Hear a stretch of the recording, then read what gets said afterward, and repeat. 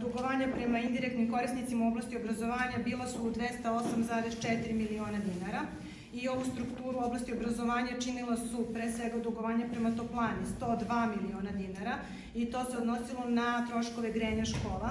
Elektroprivredi Srbije dugovalo se 37 miliona dinara za električnu energiju, a ostalim komunalnim preduzećima preko 20 miliona dinara.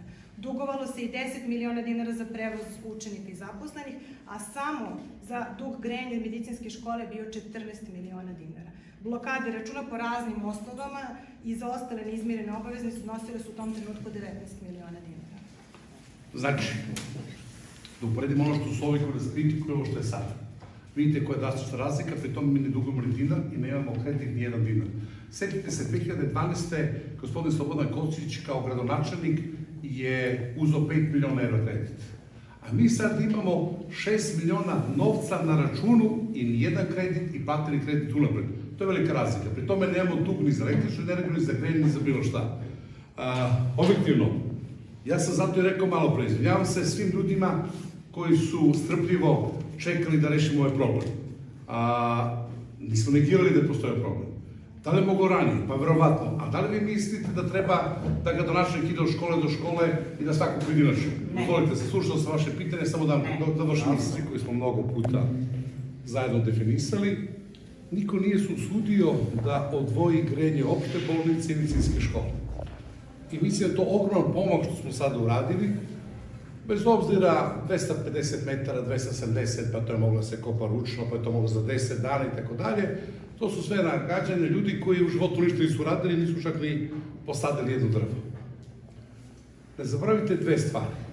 Odgovorno tvrdim, pošto pratim to i pošto znam šta znači koksaki virus koji iz klima uređaje napada direktno srčani mišić i vaše pitanje apsolutno na mestu i hvala vam na tome, da dva puta godišnje sve klime uređaje u bolnici se čiste, sređuju, adaptiraju.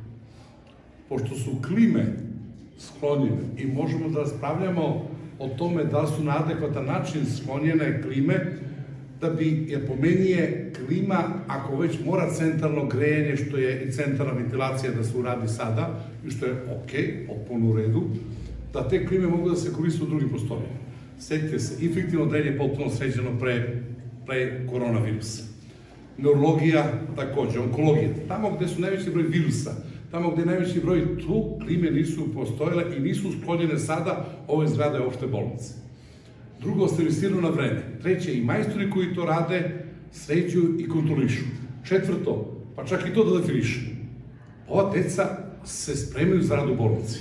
I ova deca implementaciju teorijskog znanja rade u bolnici. I oni rade u bolnici svakog dana su, ne znam već koliko to imaju praksu, dva puta nedeljno, tri puta nedeljno, pa čekajte, ako su radili te klime u bolnici, oni ta deca bila tamo izložati virusima. Mislim, dovoljno razumete šta želim da vam kažem, tako da smatram da apsolutno tendiciozno izveštavanje opozicije o tome, dobro na vama je samo da prenesete ko šta kaže, ali mislim da sam na adekvatan način i ovde je poenta da smo opet mi uspeli posle 25 godina da odvojimo grejanje i da grejanje bude potpuno nezavisno u opštoj bolnici, potpuno nezavisno u medicinskoj školi. To je opet iskorak, pored blokade, da nešto stalno ulažemo. I kao što smo za jedan dan nabavili radijatore, kao što sam ja želeo da toj školi opet ostane nešto posle i ovakvih problema koji jesu bili evidentni, a to su klima uređaje koji mogu u letnjem periodu takođe da bude prijeta temperatura, mislim da je pozitivna strana.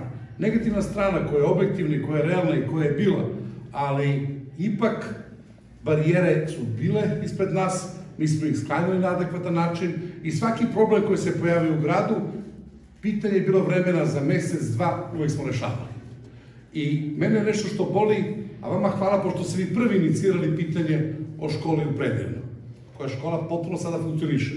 Tamo je bilo, da li će da se krene sada sa realizacijom novog projekta ili kasnije, i u konstataciji sa majstorima, kao što konstataciji s lekarima, dok ne otvore organe, odnosno recimo abdomen ili pluća, on ne zna šta se sve tačno dešava, bez obzira na analize. Tako su i majstori rekli, može da traje još tri godine, ti kotovi mogu još pet, a može da se desi vrlo brzo. Setite se da u hemijskoj školi za mesec dana je tri puta ovaj gospodin Tan, Tane Kurtić, da izvinite, dok je bio direktor, tri puta smo za mesec dana menjali kotlove i opravljali, dok nismo našli potpuno nov. Znači, to je proces koji se dešava i kući kad kupite nov kotao, pa se desi. I žao mi je što neki ljudi koji čije su deca u ovoj medicinskoj školi, brinuli samo o medicinskoj školi, samo svoje deci, a ne o deci u prednjeni. A kao što, znate, vi ste prvi pitali za tu školu u prednjeni, evo ja vam kažem, zamenili su kotlovi, zamenilo je sve i grejanje u funkciji, isto kao i ovde. Tako da mi zaista vodimo računa o svojoj deci i problemi nastaju. Znate, svako bi lako mogao da bude gradonačelnik kad bi mogao da rešava sve probleme. A mi, kao što vidite, nastaje problem, ne od problema, ali ga rešavamo i dođemo da izvestimo ko je čitav lanac bio i šta je u redu. Znate, imamo dovoljno novca. Ali, da bi mogli da nešto rešimo, i profesorima i učenicima koji su nestrpljivi, uz jedno veliko izvinjenje, jer objektivno mi smo ti koji moramo da donosimo promene na bolje. Da smo mogli brže, verovatno, ali evo, ipak smo uspeli posle mesec dana intenzivnog rada, intenzivne borbe, da regulišemo i to. Pri tome, hvala što je i vreme bilo adekvatno i dobro, tako da kad pogledate ceo taj komplet, sve se srećno završilo, nije bilo bolestnih, nije bilo veći broj izostanaka, а поетни што воле да направе од мали проблема, веќи проблеми, тоа е веќе потврзумливо на што го осетливам изборот цикус.